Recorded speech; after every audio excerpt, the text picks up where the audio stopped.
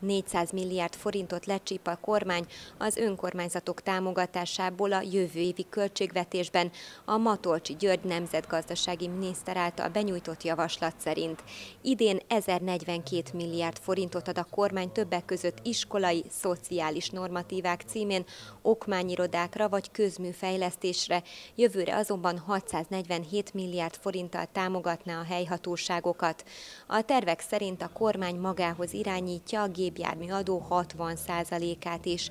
Körös Péter szocialista képviselő előterjesztésében javasolja az önkormányzatnak egy paritásos bizottság felállítását. Azt javasoljuk, hogy az önkormányzat képviselőtestülete hozzon létre egy olyan bizottságot, amelyben paritásos alapon minden párt delegál szakértőket, amelynek az lenne a feladata, hogy nyáron fölméri azt, hogy egyes ágazatokra, költségvetési fejezetekre lebontva megnézze, hogy amennyiben ilyen elvonásra, ilyen mértékű elvonás, forrás elvonás kerül a bevezetésre, akkor melyik területen várható az, hogy adott esetben a feladatellátás teljes mértékben ellehetetlenül, vagy komolyabb mértékben sérül. Az önkormányzat kötelezően ellátandó és önként vállalt feladatainak áttekintése lenne a legfőbb feladata a bizottságnak, tette hozzá a képviselő.